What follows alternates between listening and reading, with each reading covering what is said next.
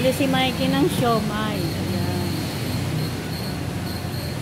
Yan na lang daw ang kanyang iuulam, Master Siomay. Paborito niya yan eh. Pag lumuluwas kami, yan ang kinakain niya sa MRT.